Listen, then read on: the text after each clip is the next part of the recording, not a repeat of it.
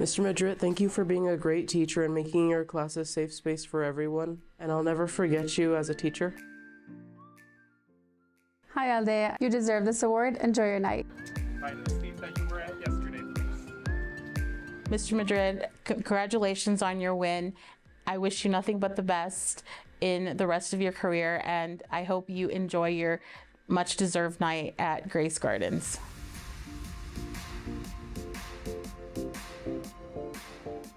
Hi, Mr. Richard. Congratulations on your award. Thank you for being the best teacher that I ever had. Keep up the good work and enjoy your evening.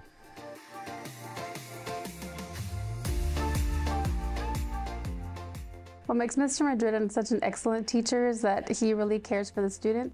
He does a lot for the kids. I know that he targets a lot of his lessons, whether it's for an ESL student like that we share.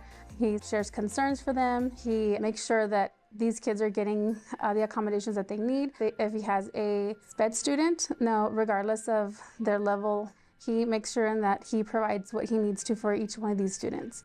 He also participates in everything that we do in school.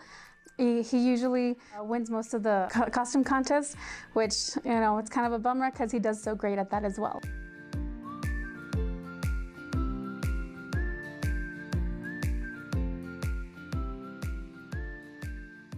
When I was Mr. Madrid's mentor his very first year, I was very impressed with his motivation, with his desire to teach, because he is such a natural teacher. What makes Mr. Madrid a great teacher is that he has the time and the patience for anybody who doesn't understand the lesson he's having. He's a very good teacher. If I was a seventh grader, I would take his class again. Mr. Madrid greets us with a smile every day, and he makes all his lessons fun and engaging.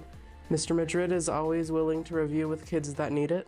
I always look forward to going to his class each day because he has something fun and interactive every day.